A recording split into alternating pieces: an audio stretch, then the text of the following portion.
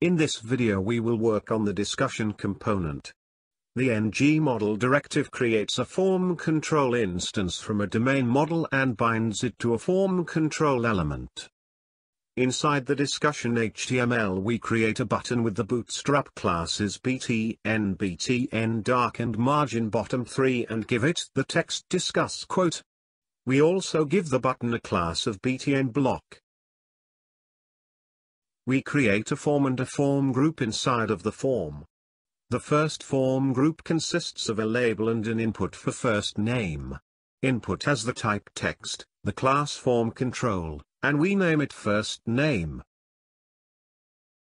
Below the form group we create a button and give it the classes btn btn warning and btn block, with the text discuss. We want the form to be initially hidden and the ability to toggle it. In the discussion component class, we create the property display form and set it to the boolean false.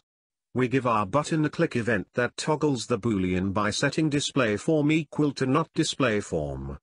We add the card and card body class to the form's outer div and use ng if display form which will toggle the form when the button is clicked. We want three more form groups, so we copy and paste the first name form group. We change the label and input name to last name, fav quote, and interpretation. Inside the character interface we also add an optional string for interpretation. We need to import the character interface into the discussion component from its file path. Inside the discussion component class, we create a character property set to the character interface type.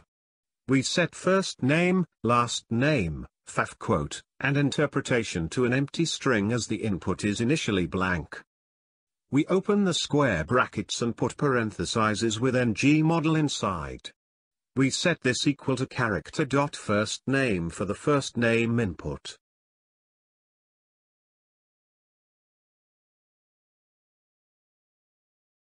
Since we are dealing with the forms module we need to import it into our app module file from at Angular Forms with a small f. We add the forms module to our imports array and close the file.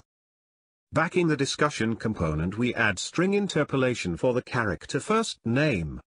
When we type into the first name field ng model changes the string interpolation output since they're together.